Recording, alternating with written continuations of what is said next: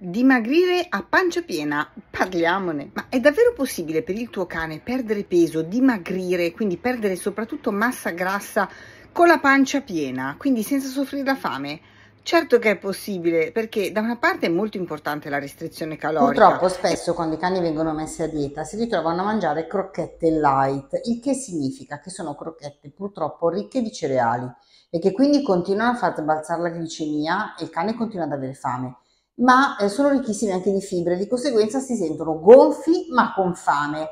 Quindi il risultato è pessimo, è un po' come se tu continuassi a metterti a dieta mangiando solo polenta e non lo so, finocchi bolliti. O perlomeno non è possibile mantenere il dimagrimento a lungo perché la glicemia continua a ballare e la fame continua a farsi sentire. Inoltre il metabolismo si ferma, la massa muscolare diminuisce, il risultato è che non appena diminuisce la dieta o mangia un biscotto per sbaglio, ricomincia a prendere peso. Al contrario, invece, mangiando alimenti che non alterano la permeabilità intestinale e che non alterano la glicemia, non la fanno ballare, quindi ad esempio verdure, ad esempio la carne, il pesce, i grassi, tengono una glicemia stabile. Anche gli zuccheri vanno bene, quindi i carboidrati complessi vanno bene, ma devono essere carboidrati che vengono assorbiti lentamente e quindi tengono stabile la glicemia, che è poi il nostro scopo. Conosci qualche cane che ha dieta? Fammelo sapere qui sotto nei commenti e vai sul mio profilo e clicca baby.